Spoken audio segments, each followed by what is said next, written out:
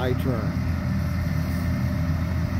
This is the big load for this particular year. Many, many hours of vacuuming up and getting them out to the curb at this point. And they're going to just gobble that all up in about one minute.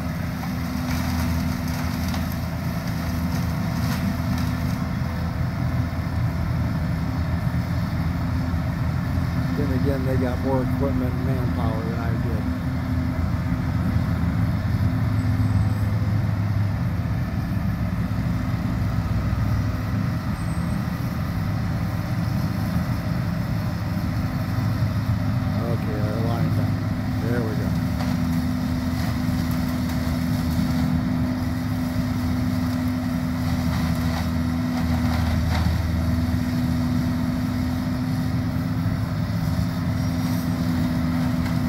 just standing there. He's been around before everybody else.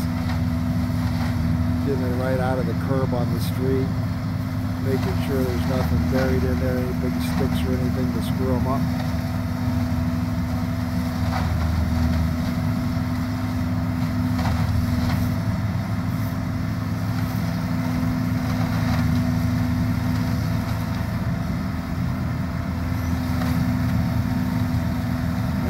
A little bit.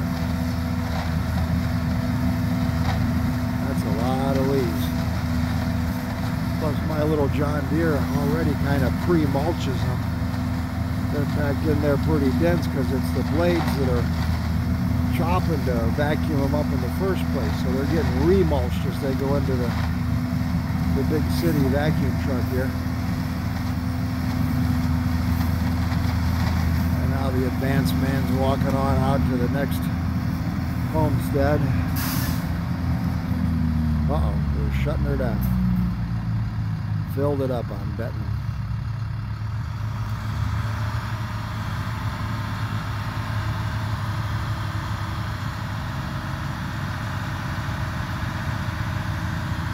Not really sure what they're doing here. Maybe they have a big piston in there compresses stuff like a garbage truck. I don't know.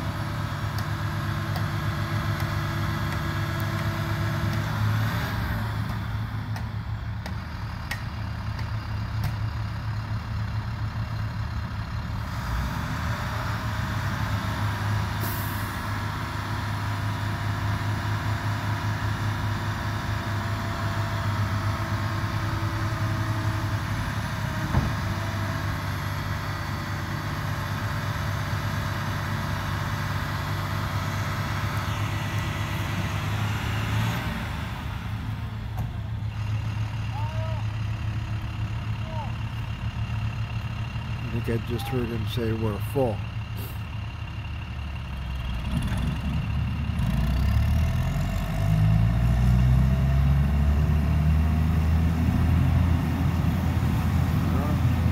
must have not, because back at it.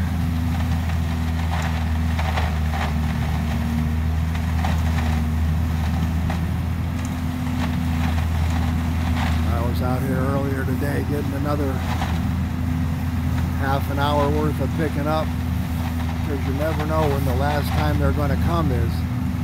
We get a good blizzard and a cold snap, they'll just quit because the leaves all freeze up into a solid mass like a glacier.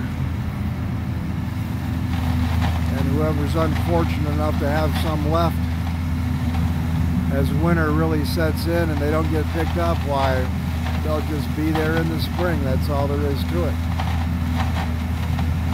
Or the occasional ambitious homeowner will get a warm day, January, February, and break them up and bag them up so the regular garbage guys can take them away.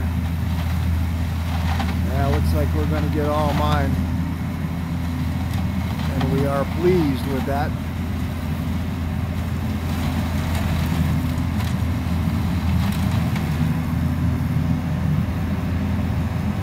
That's how Vintage Don gets his entertainment on a early Friday afternoon here in Medina, Ohio.